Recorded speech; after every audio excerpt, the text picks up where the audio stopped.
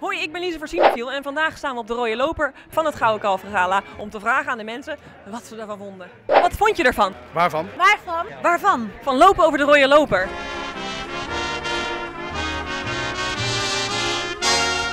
Ja, nou, het was weer een hele belevenis. Oh, ja, het is altijd kut gewoon. Super, super spannend. Fucking exciting. Ik zie alleen maar mooie meisjes. We zitten er nog middenin, hè? Ja. Ik, heb, ik vorm mijn mening pas achteraf. Het is- een beetje ongeorganiseerd. Het is een beetje Pac-Man als je een beetje kijkt. Ja, het was mijn allereerste keer. Je deed echt heel goed. Nee, ja, ik weet nooit zo goed wat ik moet zeggen en ik, ik flapper altijd allemaal dingen uit. Dan denk ik later, oh, wat heb ik nu weer eruit geflapt? Nou, ik ga mezelf altijd heel raar gedragen. En dan denk ik altijd achteraf, waarom doe je dat? En noem eens een voorbeeld.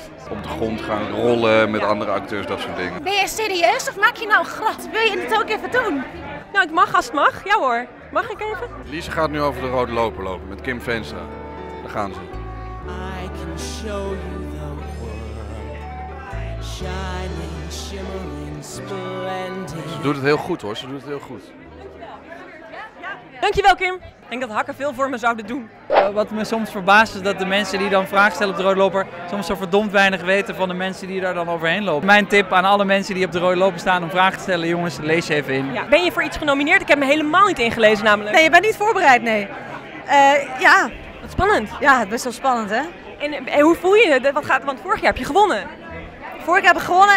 Hadewig Midders. Ja, ik ik ben gewoon toch altijd zenuwachtig. Over het rode loper gesproken, want dat is toch waar het een, een beetje Oh, over gaat. Niet in één keer over film gaan praten. Nee. Eh, wat is eh, anders dan deze rode loper in vergelijking met andere rode lopers? Hij is iets donkerder rood. Ja, dat was mij ook al opgevallen hoor. Ja. dan toch anders. Nou, ik denk, ik denk dat het serieus best wel leuk is dat gewoon de hele Nederlandse filmwereld hier is. Dat is en dat gewoon eh, alle filmsterren zijn. eh, heel... Wat is dit voor een cliché antwoord? Ja, wat de f dat wil je toch? Wat is de leukste vraag die je gesteld hebt gekregen zojuist? Wat ik hier doe, vond ik eigenlijk wel een goede vraag. En wat doe je hier? Ja, nou ja, kijken naar al die, eh, al die eh, imponerende, eh, chique mensen die voorbij komen. Je, je krijgt altijd een beetje dezelfde vragen, moet ik toch eerlijk zeggen. Wat is de stomste vraag die je net gehad hebt? Eh, hoe vond je het om over de rode loper te lopen? Oh, dat vind ik echt een hele goede vraag. Ja. Ik had net een klein ego-krenkend momentje. Waarom? Ben ik heel eerlijk, hè? Ja. Vroeg iemand, ehm, hoe is dit voor jou? Dit is de eerste keer, je bent nog nooit eerder genomineerd. Vorig jaar was ik ook genomineerd, zei ik toen. Moet ik hem mentaal breken, deze persoon? Alsjeblieft wel, ja. Luister maar even een, wie het was in mijn oor. Dan. eh op telegraaf.nl? Nee, een grapje. Nee, nee, Nee, was het niet. Wat ik van de cover vind en of ik denk dat ik ook ooit een prijs ga winnen.